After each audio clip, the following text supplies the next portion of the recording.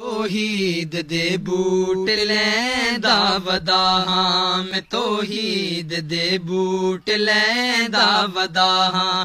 شجر شرک دے میں، شجر شرک دے میں پٹیندا ودا ہاں۔ میں توحید دے بوٹ لیندا ودا ہاں۔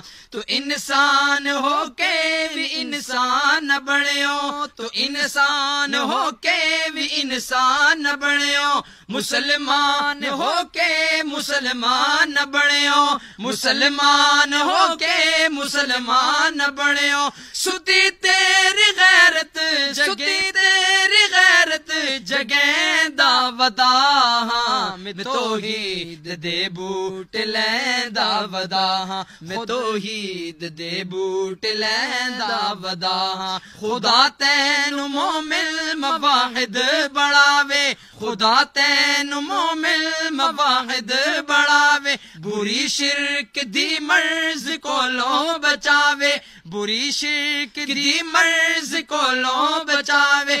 میں اس لے میں نقصان اس دے، میں نقصان اس دے دسیں دا ودا میں توحید دے بوٹ لیندا ودا ہاں۔ میں توحید دے بوٹ لیندا ودا ہاں۔ سوا ایک خدا دے نہ کوئی الہ سوا ایک خدا دے نہ کوئی الہ یعنی سب دا اللہ ہی مشکل کشائے یعنی سب دا اللہ کی مشکل کشائے میں کل میں دمانا، میں کل میں دمانا رسیں دا ودا ہاں میں توحید دے بوٹ لیندا ودا ہاں میں توحید دے بوٹ لیندا ودا ہاں نبیاں دا مشکل کشا ایک خدائے نبیاں دا مشکل کشا ایک خدائے ولیاں دا حاجت روا ایک